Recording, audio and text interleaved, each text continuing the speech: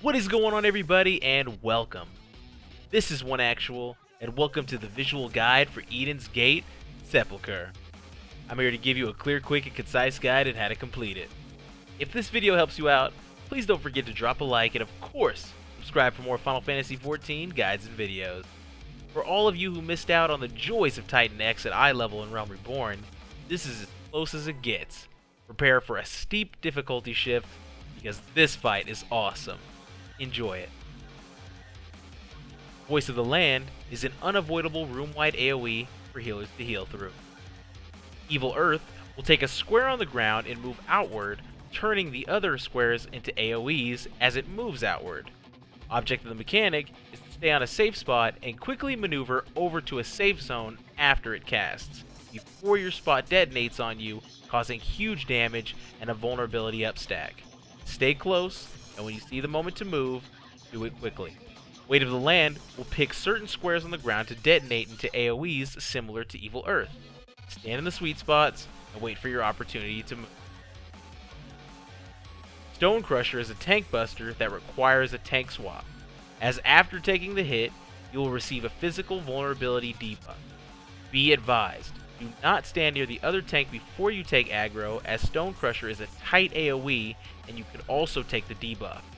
Maintain your space, take hate, after the hit, take position. Crumbling down will spawn two pulsing AoEs on the ground. Simply go in between the AoEs and toward the edges to minimize damage. Seismic Wave will require you to run behind one of two rocks to avoid taking mass damage, and this is your hint for future mechanics. Do not stand near the big glowing rock for any reason. Move to the non-glowing rock and place it between you and Titan. Geocrush is a move that'll cover the arena with a big knockback AoE. I like to place myself kind of along the edge of a direction that I see facing the most space, as you see on screen, to guarantee myself not getting thrown off the cliff.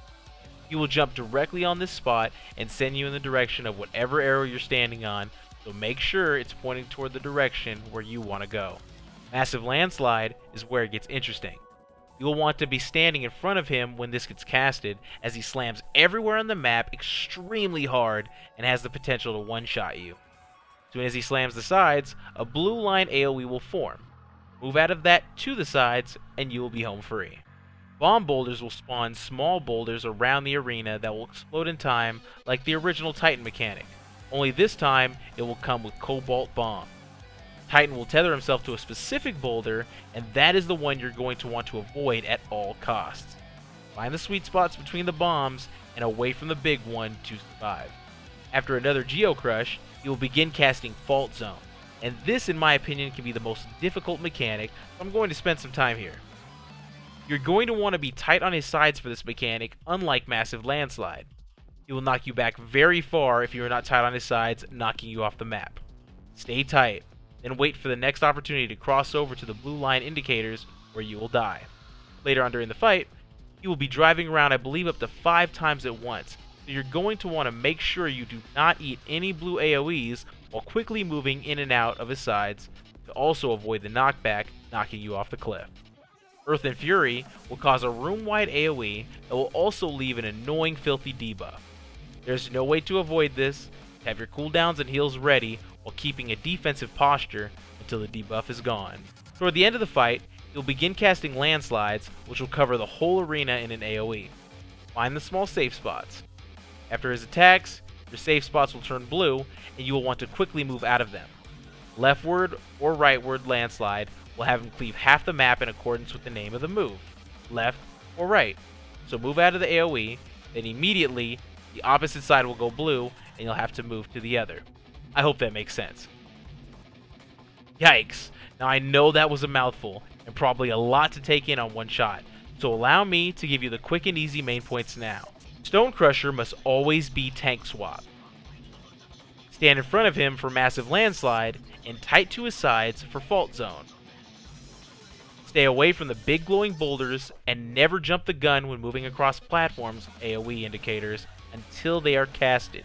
You have time. Everything else is self-explanatory and shouldn't cause you issues. This fight is as close to an extreme as you can get, so don't get discouraged if you struggle.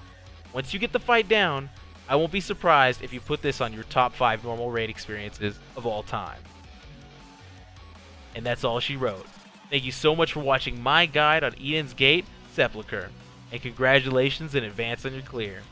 My hopes are that this guide helped you out, and if it did, please don't forget to drop a like and subscribe for more Final Fantasy XIV guides and videos.